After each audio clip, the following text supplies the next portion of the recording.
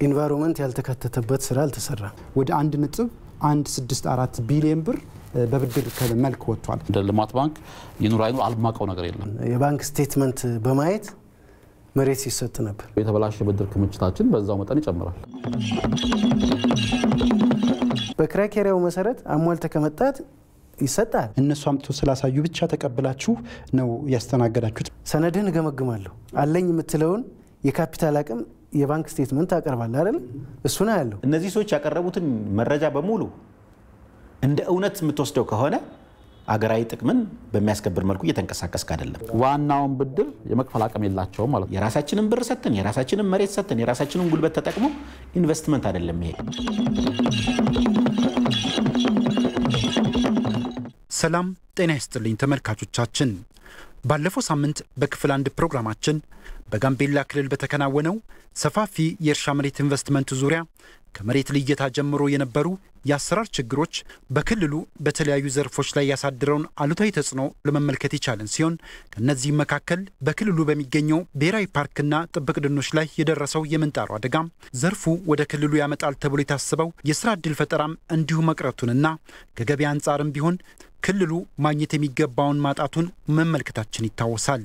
በዛሬው ምልከታችን ደግሞ በዚሁ ልየታ በተደረገበት 1.2 ሚሊዮን ሄክታር መሬት ላይ የፌዴራል ከፍተኛ መስሪያ ቤቶች የነበራቸውን ድርሻ በተመለከተ በያዝነው ቀጠሮ መሰረት በዋናነት በወቅቱ መሬት አዘጋጅቶ በማስተላለፍ ረገድ ከፍተኛ ድርሻ ከያዘው የግብርና ሚኒስቴር እንደዚሁም በዚሁ የመሬት ልየታ ወቅት የአካባቢ ደንና የአየር ንብረት ለውጥ ኮሚሽን ኃላፊነትና ድርሻውን በተጨማሪም ለዚሁ ተግባር ለባለ ሀብቶች ብድር ከመስጠት አንጻር በባንኮች ዘንድ የነበሩ ችግሮችን እንመለከታለን። መልካም ቆይታ። የፌዴራል ግብርና ሚኒስቴር የመሬት ልየታ ስራ እንዲያከናውን በውክልና ኃላፊነት ተሰጥቶት የነበረ ቢሆንም ውጤታማ እንዳልነበረ ሚኒስቴር መስሪያ ቤቱም ዘርፈ ብዙ ችግሮች የነበሩበት መሆኑን ጥናቶች የሚያመላክቱ ሲሆን መስሪያ ቤቱም ቢሆን ይህንን ሀሳብ ይጋራል። ጊዜ አልነበረም። በተገቢው መንገድ ለይቶ መሬት አዘጋጅቶ ባለሀብት ሲመጣ ያን የተዘጋጀውን የተስማሚነት ጥናት የሰራለትን ኒት የሆነ መሬት መስጠት አልተቻለም። ያ ማለት ደግሞ ሁሉም የተበላሸ ነው ማለት አይደለም። የመሬት መደራረብ የተፈጠረው የተወሰነ መደራረብ ተፈጥሯል። በዛው ልክ ደግሞ በተገቢው መንገድ የተሰጠበትም ሁኔታ አለ። ግን ችግሮች አልነበሩ ማለት አይቻልም። ችግሮች ነበሩ። መሬቱን ስታስተላልፉ ጥናት አልተደረገም። ምክንያቱም በዚህ መሬት ላይ በርካታ መነካት የሌለባቸው ለምሳሌ ብሔራዊ ፓርኩ አለ፣ ጥብቅ ደኖች አሉ፣ እንደዚሁም ደግሞ ተራራዎች ሁሉ ተካለዋል። እነዚህን ስራ አጣርቶ የመስራት ስራ አልሰራችሁም። ይሄ ከጥብቅ ደንና ከብሔራዊ ፓርኮች ጋር ተያይዞ የሚነሳው ነገር እሱን ያካትታል ነበር የሚሰጠው መሬት ቀድሞ የተለየ ባይሆንም ባለሙያዎች ሲያስተላልፉና አጥንተው ሲሰጡ ምንም እንኳ gap ሰፊ ጊዜ የሌለ ባይሆንም ከጥብቅ ቦታዎች ከብሔራዊ ፓርኮች እንዲሁም ደግሞ ህብረተሰቡ በባህላዊ ከሚጠቀምባቸው ቦታዎች ነፃ ለማድረግ የተሞከረ ነው በአብዛኛው የተሰጠው ማለት ነው። ጥናቱ እኮ ይህንን ነው የሚያሳየው። በተለይ እናንተም ተሳታፊ በሆናችሁበት በዚህ ጥናት ላይ እኛም እዛ ድረስ ሄደን መመልከት እንደቻል ነው ከዚህ ከ1.2 ሚሊዮን ሄክታር ውስጥ በስርዓት በፌዴራልና በክልል የተዘጋጀው ወደ 630 ሺህ ሄክታር ያህል ለባለ ሀብቱ የተላለፈበት ሁኔታ አለ። በዚህ በተዘጋጀው መሬት ውስጥ ነው ፓርኩም ተነክቷል፣ ጥብቅ ደኖችም አብዛኞቹ ተጨፍጭፈዋል። እና ይህንን በተግባር አይተናል። ጥናቶችም ይህን የሚያሳዩት ይህን ነገር እናንተ አታውቁም ነበር? ጋምቤላ በባህሪው ትንሽ እንትን ያለበት አካባቢ ነው። ለእርሻ ተስማሚው መሬት ላይ ጥብቅ ደን ሳይሆን ውድላንድ ያለበትና savanna grassland ያለበት area ነው ለእርሻ በብዛት የተሰጠው። እኔ ያገኘሁትን መረጃ የሚያሳየው ያ ነው። አሁን ይሄ በ2010 የተወካዮች ምክር ቤት የግብርና ቋሚ ኮሚቴ የተመለከተው ነው። እንደሚያዩት ይሄ የተጻፈበት ጥብቅ ደኖችም መንደሮችም ፓርኮችንም ያሳያል። የተካተተና ልዩነት ወይም ልየታ ላይ ችግር መኖሩን ያሳያል። ይሄንን እናንተ ስታስተላልፉ ለምንድን ነው የማጣራት ስራ ቀድሞ ያልሰራችሁት? እኔ እንግዲህ በፊት ቀድሞ የነበሩ ኃላፊዎችን ብትጠይቅ ነው የሚሻለው። ይሄን አሁን እንደ ተቋም ስለምናወራ ነው አቶ በዛ አይ ማውቀው ነው እኔ የምነግርህ እኔ የምነግርህ እኮ ማውቀው ነው። ስለዚህ እኔ የማውቀው ጥብቅ ደን ለኢንቨስተሮች የተሰጠበት ሁኔታ የለም። ማስተካከያ እንደተደረገ ነው የማውቀው ማለት ነው።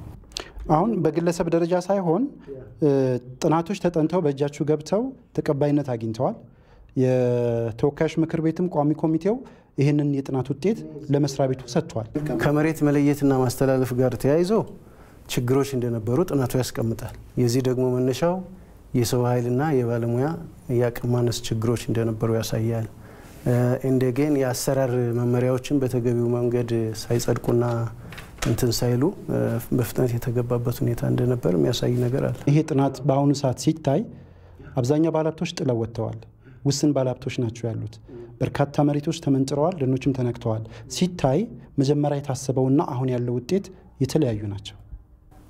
exactly ውጤቱ ላይ ምንም አያከራክረንም። ጥናቱ ላይ ያለውም እንዳየው የሚያሳየው ጋምቤላ ክልል 623 የሚሆኑ ባለሀብቶች 630 ሺህ ሄክታር መሬት ተላልፎላቸው ከዛ ውስጥ መልማት የቻለው የ2008 ሪፖርት data የሚያሳየው 76 ሺህ ሄክታር ነው። that means ወደ 12 percent አካባቢ ነው አፈጻጸሙ።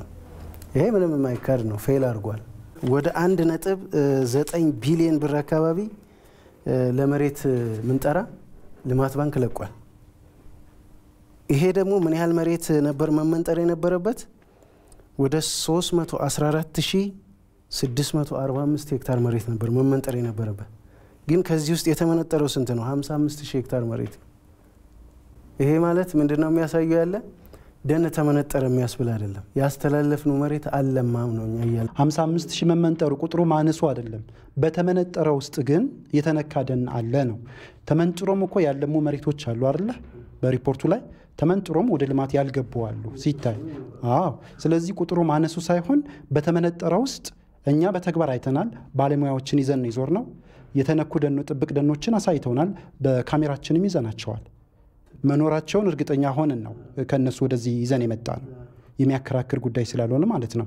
ስለዚህ በአጠቃላይ ይህ ማለት ከአፈጻጸም አንጻር ያለው ውጤት ሲታይ ዝቅተኛ መሆኑ ከታወቀ ዝቅተኛ ለመሆኑ የእናንተ ሚኒስቴር መስሪያ ቤት የሚወስዱ ኃላፊነት አለው ማለት ነው። እኔ እያልኩ ያለሁት እሱ ጥፋት ካለ የሕግ የበላይነት አለ፣ የማይጠይቅ የለም።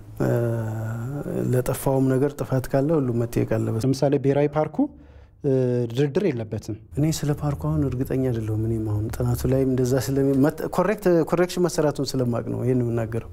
እኮ correction የተሰራው እኮ መነካቱ አንደኛ correction እንዲወጣ ደንም እንዳይነካ ፓርኩም እንዳይነካ ማስተካከያ ተደረገ። ማስተካከያ ማድረግ ማለት ደግሞ መጀመሪያ ችግር ነበረ፣ ተሰጥቷል። ከተሰጠ በኋላ ማስተካከያ ተደረገ ማለት ነው። ያ ተደረገ። ግን ያ ማለት ጠፍቷል ማለት አይደለም። መሰለ ቅድም እኮ ነገርኩ መግቢያ ላይ ያለ በቂ ቅድመ ዝግጅት በፍላጎት ብቻ ግብርናውን እናዘምናለን፣ ለሀገር ውስጥ ኢንዱስትሪዎች የ agriculture ግብአቶችን እናገኛለን፣ ለውጭ ምንዛሪ ሊሆኑ የሚችሉ ሰብሎች ኤክስፖርት እናደርጋለን፣ ለዜጎቻችን የስራ እድል እንፈጥራለን ተብሎ በትልቅ ፍላጎት የተገባበት ነው እኮ እንዳልኩ። ስንገባ ደግሞ ያለ በቂ ዝግጅት ስለነበረ ስህተቶች የሉም ማለት አይቻልም፣ ግን እየታረሙ ሄደዋል። የውጭ ሀገር ባለሀብቶች ወደ ሀገር ውስጥ ሲገቡ ፍቃድ ከመስጠት ጀምሮ የነበረው የአሰራር ችግር በአሁኑ ወቅት ለታየው ውጤት የራሱን ድርሻ የሚይዝ ይሆናል። የውጭ ቀጥተኛ ኢንቨስተሮች ኢትዮጵያ ውስጥ ሲመጡ investment permit ለመውሰድ ምንም አይነት conditions ም ሆነ ምናምን አልነበሩም። መጥተው የ200 ሺህ የአሜሪካ ዶላር የአነስተኛው ካፒታል መጠንን እስካስመዘገቡ ድረስ በቀላሉ የኢንቨስትመንት ፈቃድ አግኝተው ካገኙ በኋላ ከሚመለከተው የክልል መንግስት መስሪያ ቤት ጋር የመሬት ጥያቄ ያቀርባሉ። ከመንግስት ባንኮች ደግሞ ብድር ጥያቄ ያቀርባሉ። በዛ ምክንያት ከፍተኛ የሆነ በመንግስት ላይ ከፍተኛ የሆነ የካፒታል ክስረት እንደደረሰ እናውቃለን። በውጭ ቀጥተኛ ኢንቨስተሮች ሳይቀር ማለት ነው። የባለ ሀብትን አቅም ያላገናዘበ የሚለው ትክክል ነው። ጥናቱም ውስጥ የተቀመጠው ነገር ምንድን ነው የሚለው business plan ና እንትኑን የ bank statement በማየት መሬት ሲሰጥ ነበር። አንዱም ችግር ያመጣው ለአፈጻጸሙ መውደቅ እንደ አንድ ምክንያት የተጠቀሰው ጥናቱ ውስጥም እሱ ነው። ትክክል ነው። አቅም ያላገናዘበ መሬት መስጠት እንደ አንድ ችግር ውስጥ ተቀምጧል። አንደኛ አልሚው ባለ ሀብት ራሱ ከአቅሙ በላይ መውሰዱ እንደ ችግር፣ ሁለተኛ የሚያስተላልፈውም አካል አቅም ሳይመዝን ማስተላለፉ እንደ ችግር የተቀመጠ ነው። እሱ ትክክል ነው። የውጭ ቀጥተኛ investor በሚሆንበት ጊዜ ግን ቀጥታ ወደ ኢትዮጵያ ኢንቨስትመንት ኮሚሽን ይመጣል። የኢንቨስትመንት ፈቃድ ስጡኝ ጥያቄ ያቀርባል። የኢንቨስትመንት ፈቃድ ጥያቄ በሚያቀርብበት ጊዜ ግን የመጀመሪያው ስራችን ይህ ኩባንያ የተባለውን አይነት commercial farming ማካሄድ የሚችል አቅም እና ልምድ ያለው መሆኑን due diligence at least ካሉ information ኖች አሰባስበን ፍቃዱ ይሰጠዋል ማለት ነው። ሰነዶችን የማጣራት ልምዳቸውን የማጣራት እነሱ አምጥቶ ስላሳዩ ብቻ ተቀብላችሁ ነው ያስተናገዳችሁት ማለት ነው። ያ መሆኑን የሚያሳየው ደግሞ ወደ ተግባር ሲገቡ አሁን እርስዎ እንዳሉት ውጤታማ መሆን አልቻሉም። በአቅምም በፍላጎትም አንጻር ውጤታማ መሆን አልቻሉም። እሱ ላይ እኔ በጊዜው ይህንን ገምግመው ያጠኑ ሰዎችና ያስተላለፉ ሰዎች እነሱ ከመጡበት ሀገር ሄደው እነሱን background ያጥኑ ያጥኑ እርግጠኛ አይደለሁ። ያንን የማጣራት ስራ ለምንድን ነው ያልተሰራው? ፕሮጀክቱ ፕሮፖዛሉን ካየ በኋላ ውጤታማ መሆኑን የምታየው ስራ ውስጥ ሲገቡ ነው አይደል? አሁን አንተ አሁን አንተ የሆነ invest አደርጋለሁ ብለህ ብትመጣ ሰነድ ነው ይዘህ የምትመጣው። ሰነድህን እገመግማለሁ አለኝ የምትለውን የካፒታል አቅም የባንክ statement ታቀርባለህ አይደል? እሱን አያለሁ። ይህንን ካሟላህ ደግሞ መሬት ለኢንቨስትመንት የሚሆን ማግኘት ትችላለህ የሚለው ይፈቅድልሃል ህጉ። እነዚህ ኩባንያዎች ኢንቨስትመንት ፈቃድ በሚጠይቁበት ጊዜ ከሚያቀርቡት ነገር አንዱ ፕሮፖዛላቸው ላይ ያላቸው experience ያላቸውን የካፒታል መጠን ይዘረዝራሉ። ግን እነዚህ ሰዎች ያቀረቡትን መረጃ በሙሉ እንደ እውነት የምትወስደው ከሆነ አገራዊ ጥቅምን በሚያስከብር መልኩ እየተንቀሳቀስክ አይደለም። በ criteria ው መሰረት አሟልተህ ከመጣህ ይሰጣል። ከዛ በኋላ አፈጻጸምህ ነው የሚታየው የሚገመገመው እኮ። ወደ ስራ ሲገባ ግን እንዳልኩህ አፈጻጸማቸው አጥጋቢ ያልነበር። ስለዚህ የእኛ ሳይኔ ባለሀብቱ ችግር ነው እያላችሁ ባለሀብቱ ችግር ነው። ከሀገር ውስጥ ምንም አይነት ካፒታል ጥያቄ የማያቀርቡ መሆን አለባቸው። ምክንያቱም የውጭ ቀጥተኛ investor ኢትዮጵያ ውስጥ መጥቶ invest እንዲያደርግ የምንፈልገው ለምንድን ነው? ካፒታል ይዞ ካልመጣ የራሴን ከልማት ባንክ ብድር ወስዶ በራሴ መሬት ላይ የራሴን ጉልበት ተጠቅሞ ለሚያለማው ነገር ምኑን ነው what's value addition ኢን ይሄ ነው የምትለው እሴት የሚጨምረው ነገር የለም። ከእኛም ጋር ችግር ይኖራል። አሁን ምንድን ነው ከኛ ጋር የሚኖረው? አንደኛ ባለሀብቶች ለምን አላለሙም የሚለው ጥናት ውስጥ ያለውን ችግር አይተሃል። የሉም ባለሀብቶቹን አታያቸውም። በበቂ ሁኔታ ልማት ውስጥ ገብተው የተሻለ ውጤት ሲያስመዘግቡ፣ ቴክኖሎጂ ሲያሸጋግሩ አላየናቸው። በቂ የስራ እድል ሲፈጥሩ አላገኘናቸው። የምንፈልገውን የግብርና ምርትና ምርታማነትም ሲያሳድጉ አላየናቸውም። ደካሞች ሆነዋል። የማንፈልገውን አይነት ኩባንያ አምጥተን የራሳችንን ብር ሰጥተን የራሳችንን መሬት ሰጥተን የራሳችንን ጉልበት ተጠቅሞ ኢንቨስትመንት አይደለም ይሄ። ይሄ ምንም ምን ኢንቨስትመንት ሊባል አይችልም። የሀገራችንን ባለሀብቶች እኮ አሰባስበን በተመሳሳይ መልኩ engage ሊያደርጉ ይችላሉ። ስለዚህ የውጭ ቀጥተኛ ኢንቨስትመንት የምንፈልግበት አላማው ምንድን ነው የሚለው ሁሌ መጠየቅ አለበት። አላማው ካፒታል እንዲያመጣልን ነው፣ ቴክኖሎጂ እንዲያመጣልን ነው፣ ስራ እንዲፈጥርልን ነው፣ የውጭ ገበያ ይዞልን እንዲመጣል። ይሄ በማይሆንበት ጊዜ የኢንቨስትመንት permit መስጠት ራሱ ኪሳራ ነው። እነዚህ ባለሀብቶች ወደ ተግባር ሲገቡ በክልልም ሆነ በፌዴራል ደረጃ ጉዳዩ የሚመለከታቸው አካላት አስፈላጊውን ድጋፍ እንደሚያደርጉላቸው ቃል ቢገቡም በሕዝብ ተወካዮች ምክር ቤት የግብርና ቋሚ ኮሚቴ በነበረው የመስክ ምልከታ ሪፖርት ላይ አለመተግበሩ ያሳያል። ድጋፉን ለማድረግ ቃል ከገባ ውስጥ አንዱ መንገድ ማስተካከል ነው። ይሄን አላደረገም። ትክክል ነው። የመሰረተ ልማት ችግሮች አሉ ስልህም እኮ አንዱ ይሄ እኮ ነው። እንግዲህ በአጠቃላይ ከመነሻው ጀምሮ የመሬት ልየታ ከማድረግ የማስተላለፍ ሂደቱን በመሀል ድጋፍና ክትትል ከማድረግ አንጻር አስፈላጊ ነገሮችን ከማከናወን አንጻር መስሪያ ቤታችሁ በርካታ ችግሮች እንዳለባቸው የሚያሳዩ ጥናቶችም ሆኑ እርሶም እነዚህን ነገሮች አንስተዋልና ስለዚህ በእነዚህ ችግሮች ላይ በአጠቃላይ ለተፈጠረው ችግር የእናንተ ሚኒስቴር መስሪያ ቤት ኃላፊነቱን ይወስዳል ማለት ነው።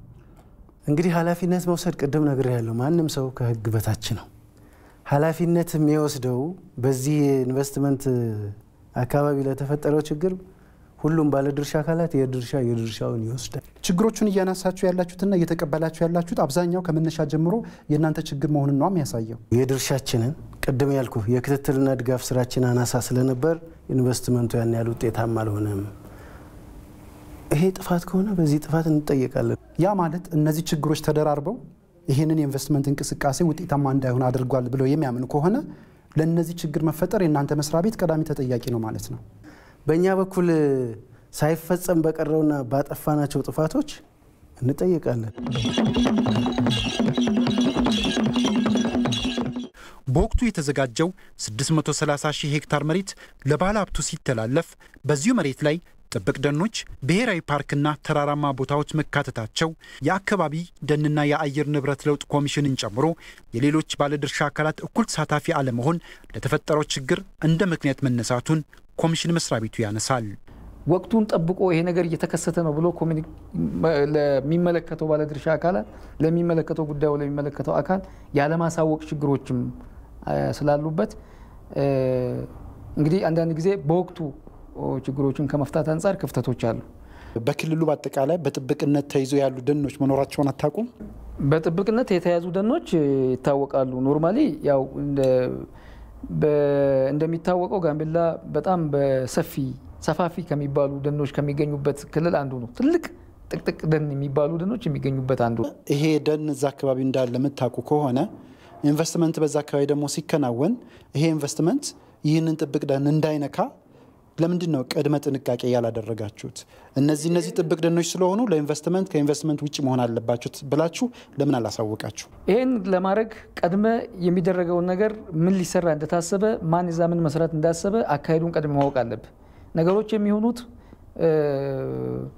የጋራ ባልተደረገባቸው አሳታፊ ባልሆነ የሚመለከታቸው መስሪያ ቤቶች፣ የሚመለከታቸው የስራ ክፍሎች፣ የሚመለከታቸው ኃላፊዎች በየደረጃው ያለው መዋቅር አንዳንድ ጊዜ ቅድም እንዳልኩ ነው ወረዳው ጉዳዩ የሚከናወንበት ወረዳ እንኳን በማያውቅበት ሁኔታ ነው የሚከናወነው።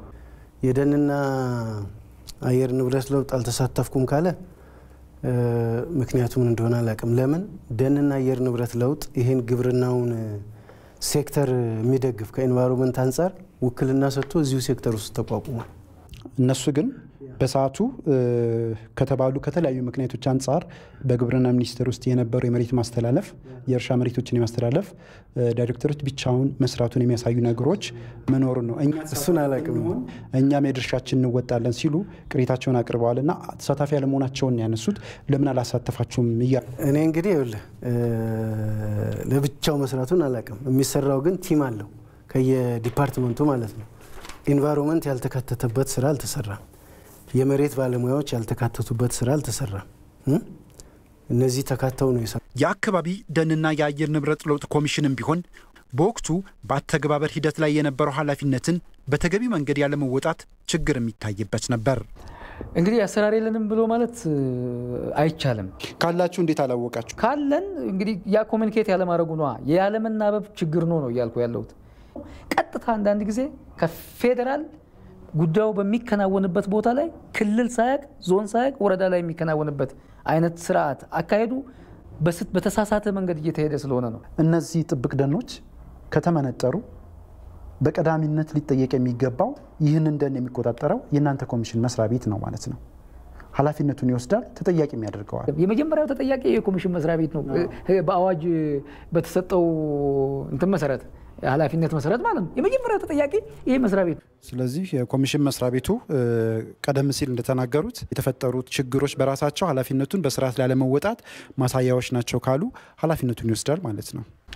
ኃላፊነት እኮ አልወስድም ማለት አይቻልም። ሲጀመር ኃላፊነት አልወስድም ማለት አይቻልም። ግን the only institution ኃላፊነቱን የሚወስድ ብሎ መውሰድ ግን ትክክል አይሆንም ነው። share ግን አለው። ይሄን ተቋም እንደሚመራ ተቋም ይህንን ሀብት እንደሚመራ ተቋም ለሚጠፋውም ለሚለማውም የራሱ share የራሱ የአንበሳውን ድርሻ የሚወስድ ተቋም ነው።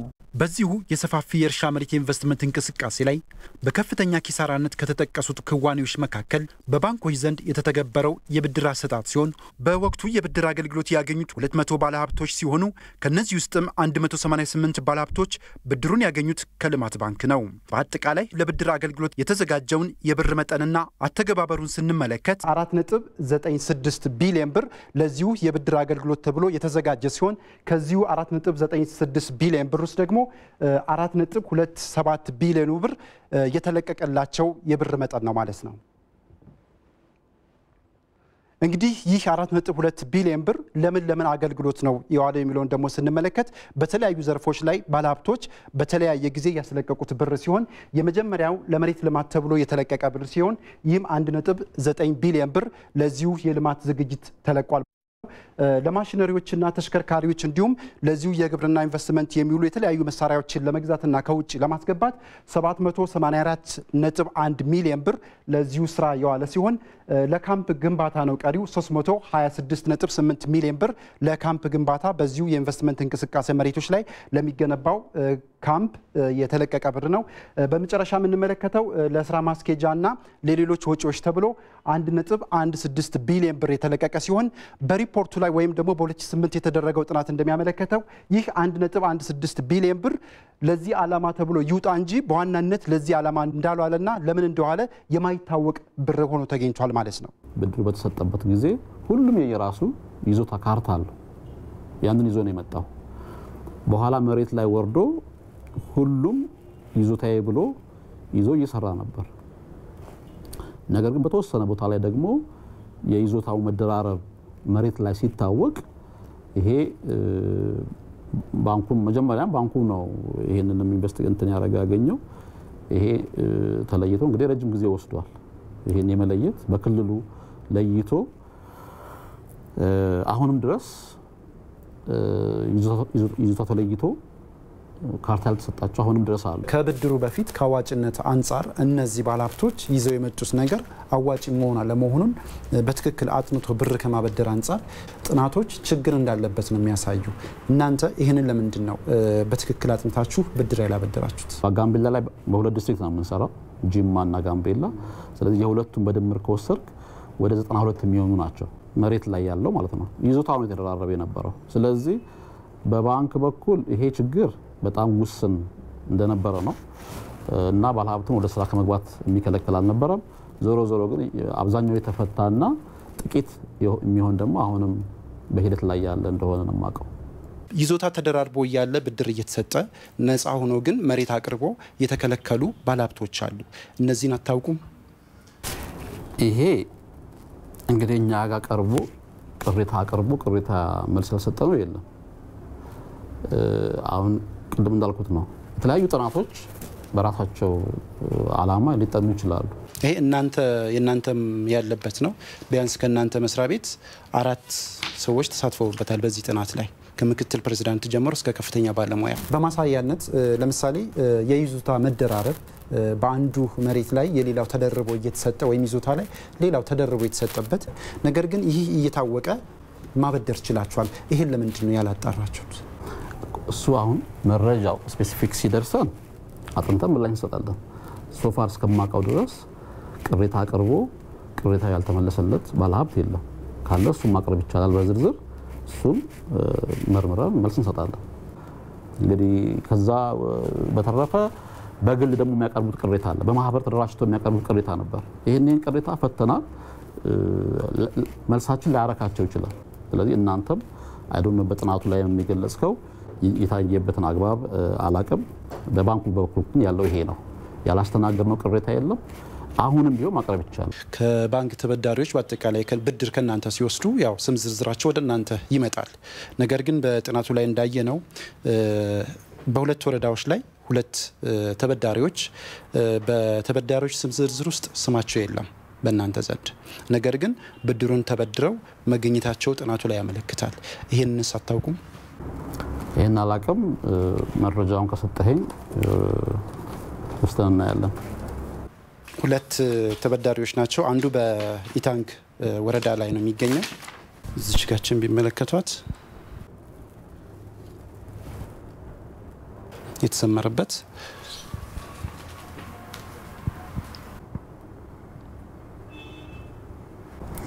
እንዲህ አይነት ዝርዝር ጉዳዮች በመሰረቱ በኢንተርቪው አይደለም መልስ የምንሰጠ። እሱን ስትሰጠኝ እኔም መረጃ ያለንን መረጃ መሰረት አድርገን አጣርተን መልስ እንሰጣለን እንጂ አሁን ይህን ስለጠየከኝ ሁሉንም መረጃ አውቃለሁ ማለት አይደለም። አዎ ትክክል ነው። ግን እንደነዚህ ያሉ ስህተት የተሰሩ አሁን ይሄ ስህተት ነው የተሰራው እሱ ስታቀርቡት ይሄው አቀረብ ነው። ካሁን በእናንተ አማካኝነት የእናንተ ሰዎች ባሉበት የተጠና ጥናት ላይ የተጻፈ ጽሁፍ ነው። የሰዎችም ስም ወረዳውም በአጠቃላይ ሁሉም ያለበት ነው እና ስም ዝርዝራቸው እናንተ ጋር የለም። ባለሀብቶቹ ግን ብር ተበድረዋል፣ አውጥተዋል ከእናንተ ጋር። ይሄን አጣርተን ምላሽ እንሰጣለን። ስለዚህ ጉዳይ የምታውቁት ነገር የለም። የማውቀው ነገር የለም። ስለዚህ ጥናቱ እጃችሁ ላይ አልደረሰም ማለት ነው። ይሄ ጥናት እስቲ አንድ ስለምን እንደሆነም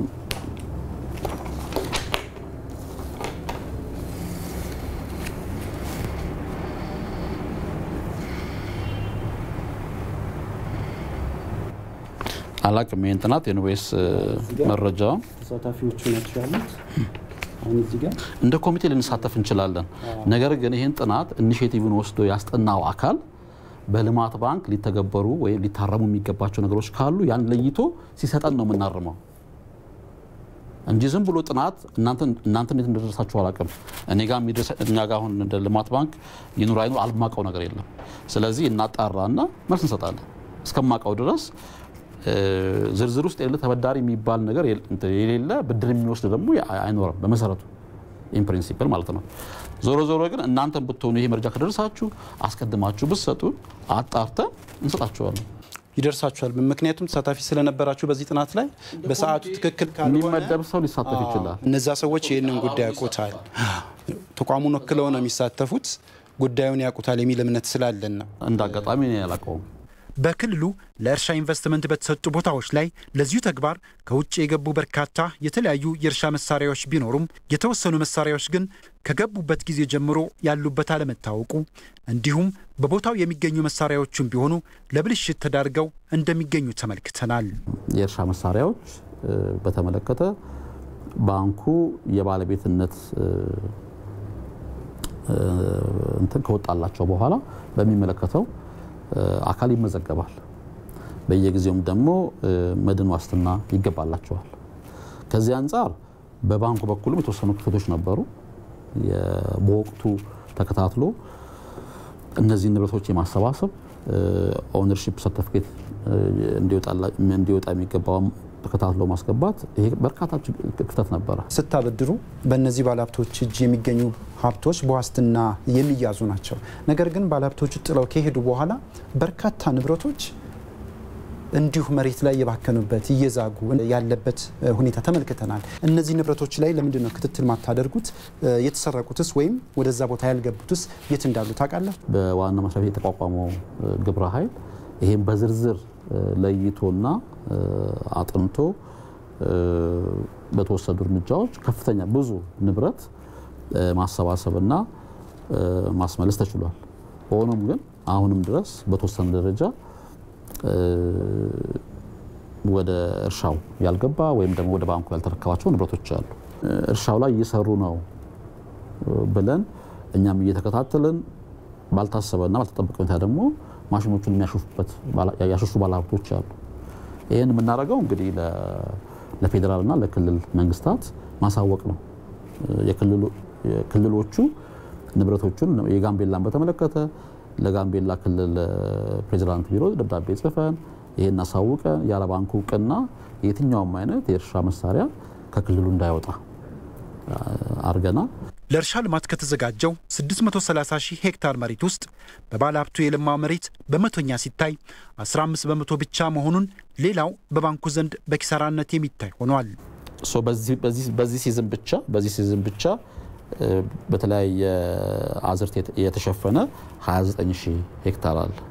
ስለዚህ ብድሩ ሲሰጥ ብቻ ሳይሆን ከዛ በኋላ አሁን እዛው ላይ ያሉና ያሉ ምን ያህል እያመረቱ ነው፣ ምን ያህል ምንድን ነው የሚያመርቱት የሚለውን እየተከታተልን ያለ ነው። ነገር ግን ወደዚህ ጥናትና ወደ ትልቁ ፖይንት ስንመጣ ቅድም እንዳልኩ ብድሩ ሲሰጥ ያለማሉ ተብለው የተሰጠው ብድር መጠንና የለማው መጠንና እዛ ጋር ልዩነት ካለ እሱን እንደ አንድ ግኝት ተወስዶ ቅድም ያልኩ በርካታ የተለያዩ አንዱ ከመሬት ልማት ጋር አንዱ ንብረት በማሸሽ አንዳንዱ ገንዘቡን ወስዶ ምንም አለመስራት እንደዚህ ጋር ተያይዞ ወደ ሰባ አንድ የሚሆኑ ፕሮጀክቶች አጠቃላይ የሚሆኑ በ investigation ስራ የተሰራ ነው። ይሄ ረጅም ጊዜ ወስዷል። ለምን የመረጃ መሬት ላይ ያለውን በየአበዳሪ ክፍል ያለውን መረጃ የማጥራት ስራ በርካታ ስራ ሲሰራ ነበር። አሁን የ investigation ስራው አልቋል። በተወሰነ ደረጃም ወደ ህግም የተላለፈበት አግባብ አለ። ስለዚህ እነዚህ ይሄ ምርመራው ልክ እንዳለቀ የተጨበጠ እና እንትን ያለ ማስረጃ መስጠት ይቻላል። ሌላው ምናልባት እዚህ ጥናት ላይ እንደምንመለከተው እንግዲህ ብር ስታበድሩ ያ ብር ለምን ለምን እንደሚውል በዝርዝር ለእናንተ ይቀርባል። ለምሳሌ እነዚህ በእርሻ ላይ የተሰማሩት ባለሀብቶች ሲበደሩ ለመሬት ልማት፣ ለካምፕ ግንባታ፣ ለማሽነሪ ግዢ ብሎ ብድሮችን ይወስዳል እና ነገር ግን ከነዚህ ዘርፎች ውጭ ወይም ከነዚህ ዓላማዎች ውጭ ባልታወቀ ዓላማ ወደ አንድ ነጥብ አንድ ስድስት አራት ቢሊዮን ብር በብድር መልክ ወጥቷል። ይሄን መነሻ ተደርጎ ከዛ በኋላ የተሰሩ ስራዎች አሉ ነው እያልኩ ያለሁት። ተሰርተው እነዚህ ችግሮች ተለይተዋል። አሁን አንተ የምትለው 1.6 የዚህ ጥናት ግኝት ነው። maybe ከዛ በላይ ሊሆን ይችላል። አሁን በዚህ መልኩ ስላልተዘጋጀው ነው። በዚህ የሰፋፊ እርሻ መሬት ኢንቨስትመንት እንቅስቃሴ ተሳታፊ ለመሆን መሬትና ብድር ካገኙ በኋላ አብዛኛዎቹ ጠፍተዋል። የእነዚህ ባለሀብቶች ጉዳይም ለአበዳሪ ባንኮች ሌላኛው ፈተና ሆኗል። አሁን ምንድን ነው በባንኩ የተሰጠን ስልጣን አለ፣ እሱን exercise እናደርጋለን። ግን ከዛ ውጪ በህግ በወንጀል ላደረሱት ጉዳት መጠየቅ ያለባቸው አካላት እንዲጠየቁ ነው። አሁን ደግሞ ልዩ ምርመራ እያደረግን ያለ ነው። በእነዚህ ጥለው በሄዱ ባለሀብቶች ላይ እርምጃ ሰው እየወሰድን ነው ብለውኛል። እና በምን መልኩ ነው እርምጃ የምትወስዱት? እዚሁ ሀገር ውስጥ ያሉትን በአካል ያገኛችሁትን ይሆናል። ነገር ግን በርካታ ባለሀብቶች ከዛው ከጋምቤላ ክልል ጥለው ጠፍተዋል፣ አድራሻቸውም አይታወቅም። እና ምን አይነት እርምጃ ነው እነርሱ በሌሉበት የሚወሰደው? አድራሻቸው አለ እኛ ጋር እንግዲህ አድራሻ ለውጥ ካላደረጉ በስተቀር አድራሻቸው አለ። በቀድሞ ብድሩን ሲወስዱ ያስመዘገቡት አድራሻ አለ።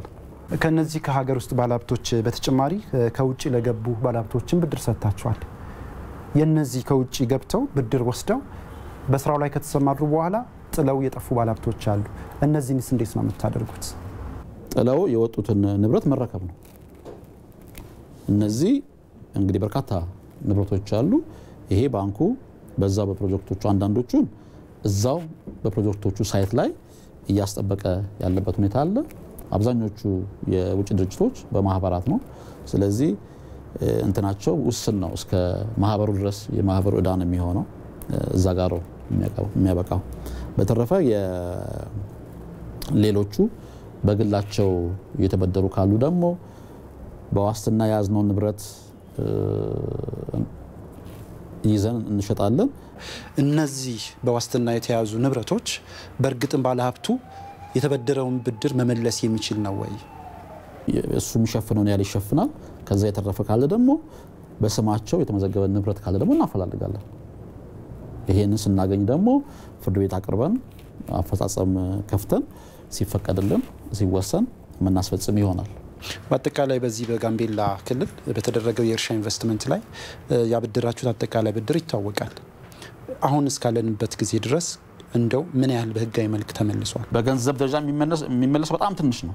ለምሳሌ በጥር አሁን በዚህ ወር 738 ሺህ ነው። እንግዲህ በጣም የአንድ ወለድ የምን ክፍያ ነው የሚሆነው። ስለዚህ ዋናውን ብድር የመክፈል አቅም የላቸውም ማለት ነው። 2009ና 2010 ባደረግነው ድጋፍ ማለት የረጅም ጊዜ ብድሩን በረጅም ጊዜ እንዲከፍሉ ስለዚህ በየአመቱ ከዚህ ከረጅም ጊዜ የተወሰነ እንዲከፍሉ በየአመቱ ደግሞ የሚገላበጥ የስራ ማስኬጃ የአመቱን ስራ ለማስኬድ የሚያስችል የስራ ማስኬጃ መደገፍ ያንን አድርገን እስከ 2011 ጥሩ የሚባል የተወሰነ እነሱም የከፈሉበት አግባብ አለ። ጥሩ የተንቀሳቀሱበት ምርታማነቱ ዞሮ ዞሮ ደግሞ አሁን 2011 ላይ ሲመጣ ቀድሞ የወሰዱትንም ያልከፈሉበት ሁኔታ የረጅም ጊዜ ሆነው መክፈል ያልቻሉበት አጣብቀኝ ውስጥ ያለ ነው። የባህል ሀብቶች ጥለው መጥፋት፣ የለማው መሬት አናሳ መሆን፣ በዋስትና የተያዙና ከውጭ ያለ ቀረጥ የገቡ ንብረቶችን ቢሆኑ በቦታው በገቡት ልክ አለመኖራቸውና ያሉትም በመበላሸት ላይ በመሆናቸው በተለይ ከፍተኛ ብድር በሰጠው ልማት ባንክ ላይ ያሳድረው አሉታዊ ተጽዕኖ ነበረ። ያው አንደኛ አሉታዊ ተጽዕኖ የመጀመሪያው የተበላሸ ብድር ክምችታችን በዛው መጠን ይጨምራል። ይሄ ብዙ ብድር ማነው ብዙ መጠባበቂያ ለብድር መጠባበቂያ እንድንይዝ እንገደዳለን። ሌላው ህብረተሰቡ ላይ የተፈጠረው ብዥታ ስለዚህ ይሄን የባንኩን ገጽታም ከመገንባት አንጻር ይሄ ነገር በአስቸኳይ እልባት መስጠት አለበት። ጀመራችሁት ጥናት ስትመለከቱት መሬት ላይ ያለውም በንብረት ደረጃ ያለውንም ተመልክታችሁ ካበደርነው ውስጥ ይህን ያህል ብር ልናጣ እንችላለን ብላችሁ ያስቀመጣችሁት ነገር አለ? ለዚሁ ለእርሻ ኢንቨስትመንት ብቻ ጋምቤላ ላይ እንግዲህ የእርሻ መሳሪያዎቹ በእርጅና ምክንያት በአገልግሎት ጊዜ የሚቀነስ ይኖራል። ያ ያ የአጠቃላይ የፕሮጀክቱን ዋጋ ይቀንሰዋል። ስለዚህ ከዛ ጋር ተያይዞ የሚመጣ የተወሰነ ኪሳራ አለ። ይሄ መደበኛ ያለ ነው። ስለዚህ ዞሮ ዞሮ በቀጣይ በምናደርገው ጥረት ለሶስተኛ ወገን ፕሮጀክቶቹንና እጃችን ላይ ያለውን ሀብት የማስተላለፍ ጥረት ላይ ይወሰናል። ምን ያህል ነው የምናተርፈው፣ ምን ያህል ነው የምናከስረው የሚለውን ነገር። ስለዚህ አሁን ላይ ይሄን የለየ መረጃ ለመስጠት ያስቸግራል። እንግዲህ ከመነሻ ጀምሮ ለታዩት ክፍተቶች እርስዎም ቀደም ሲል በተለያዩ ስራዎች ላይ ተቋማችሁ የተለያዩ ስህተቶችን ወይም ክፍተቶች እንደነበረበት ነግረውኛል። አሁን ላለው ደረጃም እነዚህ ክፍተቶች ማሳያ ናቸውና ኃላፊነትን ከመውሰድ አንጻር ማን ነው ይህን ኃላፊነት ወስዶ ተጠያቂ የሚሆነው? በባንኩ በኩል የነበሩ ክፍተቶች እነዚህ እነዚህ እነዚህ ናቸው ሲባል በባንኩ ደግሞ በየደረጃው ያንን ብድር ሲሰጡ የነበሩ ኃላፊዎች፣ ሰራተኞች ሊያስጠይቅ በሚችለው ደረጃ መጠን ተጠያቂ መሆን የግድ ነው።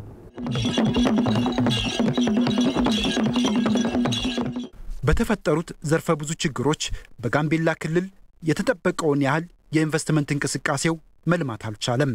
በመሆኑም ከፍተኛ የሆነ የሀገርና የሕዝብ ሀብት ሊባክን ችሏል።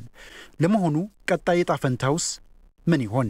የክልሉ መንግስት የባንክ ብድር ያቀረበው አካል ባለሀብቱ የኢትዮጵያ ኢንቨስትመንት ኮሚሽን እና የገንዘብ ሚኒስቴር ቁጭ ተብሎ discuss ተደርጎ በተለይ ምንም አይነት ስራ ያልተሰራበት ብድር ግን በጣም የተወሰደበት መሬት ከሆነ መሬቱ ጦም እያደረ ለሌላ ኢንቨስትመንት ሳይውል የሚመለከተው ባንክም ምንም አይነት ገቢ ሳያገኝበት ከሚቀጥል እንዴት አድርገን ነው ወደ ስራ ልናስገባ የሚችለው የሚለው የፖለቲካ መፍትሄ መስጠት ያስፈልጋል። ይሄውም የክልሎች መንግስት በምን አይነት በአግባብ ነው መሬታቸውን ይዘው እንደገና ማስተዳደር የሚችሉበት ወደ ምርት መግባት የሚችሉበት የሚለው መፍትሄ እንዲያገኝ አስፈላጊውን ጥረት እናደርጋለን።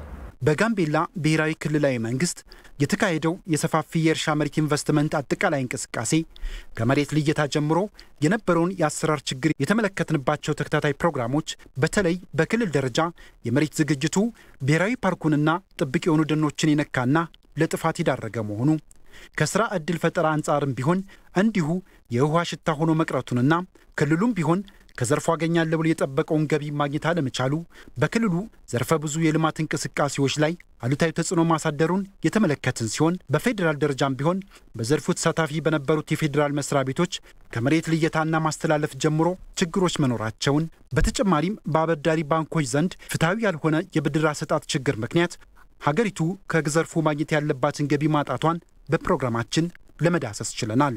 ይህንን መጠነ ሰፊ ችግር ለመቅረፍ የሚመለከታቸው አካላት ትኩረት ሰጥተው ሊሰሩ ይገባል መልእክታችን ነው።